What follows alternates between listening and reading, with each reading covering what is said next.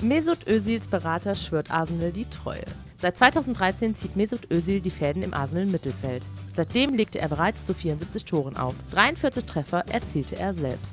Unter dem neuen Arsenal-Trainer Unai Emery war der Deutsche in der Saison 2018-2019 jedoch häufiger als ihm lieb ist nur Bankdrücker. Mittlerweile darf Özil wieder regelmäßig von Beginn an ran. Doch Arsenal sucht Medienberichten zufolge einen Abnehmer für Özil. Der Grund?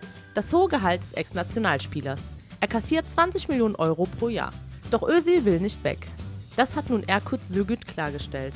Mesuts Blut ist Arsenal-rot. Er wird seinen Vertrag mit Sicherheit erfüllen, sagte der Özil-Berater. Er wird bis mindestens 2021 bei Arsenal bleiben und die Fans müssen sich keinen Gedanken über das Gerede machen, er könnte im Sommer gehen. Er hat einen Ort gefunden, an dem er sich willkommen fühlt und glaubt, dass er noch viel mehr zu geben hat.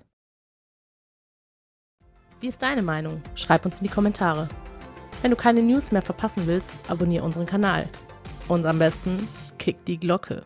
Bis zum nächsten Mal.